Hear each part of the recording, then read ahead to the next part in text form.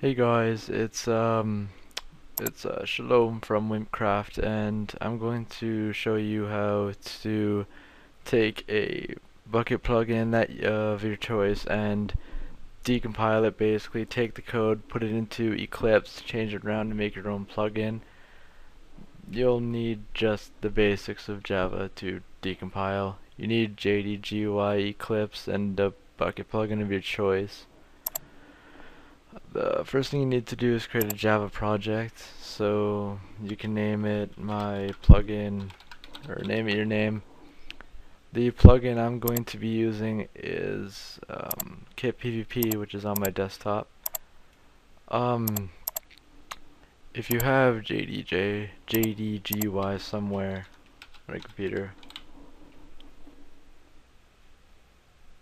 okay, here it is. I'm gonna drag this to my desktop so once you click this you can basically open any plugin that you chose. So I'm gonna go to my desktop and find the plugin kit pvp okay so now I have all of the source code in here in me.compasscraft.kitpvp and it's only made up of one class which holds the code that makes the plugin do what it's supposed to do so you can edit it primarily in here. So you, but you can like just drag um, your mouse all the way to the bottom, um, highlighting the code as you go down.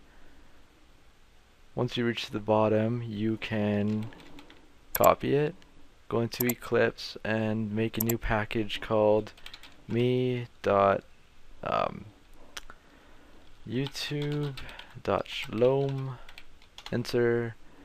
You can add a class and call it main just like they did with their plugins and then just control V the code in there. You are going to get a lot of errors.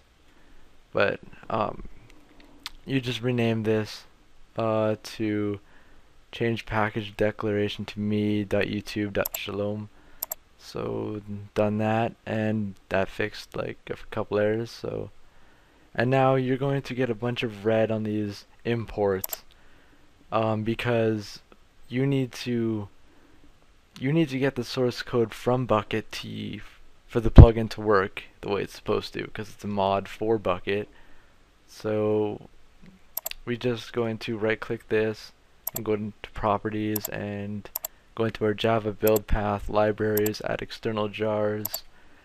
Um, and then go to your Bukkit server folder and find your CraftBukkit. Click it, press OK, and these should fix themselves. There we go. And then you're just gonna have errors like this, which um, chat, col chat color bold and the white don't seem to mix, and I'm too lazy to find out why. So just scroll all the way down, highlight all the code as you go down, press Control F. Um, you are going to want to change plus chat color dot bold and you're going to want to replace it with a space. Replace all and all the errors are going to go away you're going to have two left and these don't matter.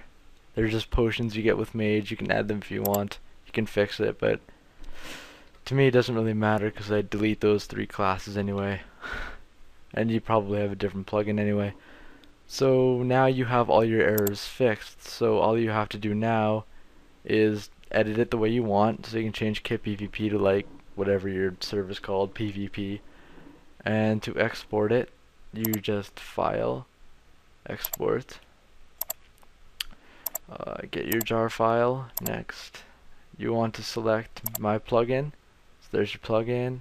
You want to save it to your desktop or your server. You can save it right to your server folder if you want to. I'm going to save it to desktop and call it Lotus. Um, and name, add a dot jar, just, it has to end with a dot jar, so make sure of that.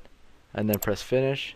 It's going to export to your desktop and you now have your own plugin that you've edited. This is not right to do. If you do make your own like if you're using this, you should give credit. Like you really should. And you know, that's pretty much it. So, have a good one.